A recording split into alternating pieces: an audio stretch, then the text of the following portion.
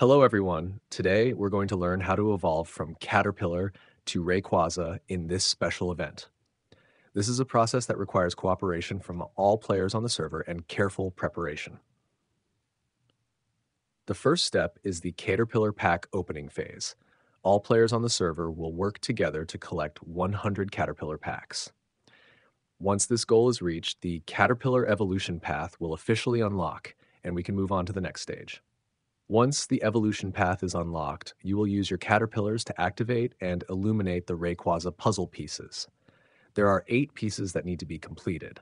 Specifically, if you use a regular caterpillar, the success rate will be lower compared to using a shiny caterpillar, giving you a greater advantage, especially with the harder puzzle pieces.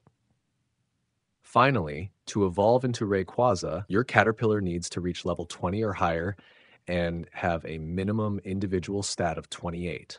But remember, only regular Caterpillar can evolve into Rayquaza, while Shiny Caterpillar cannot.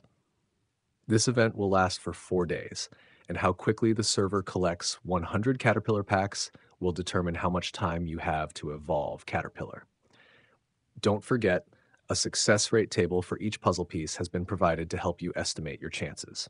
Uh, so, we've completed the process of evolving from Caterpillar to Rayquaza. Get ready and join the event now.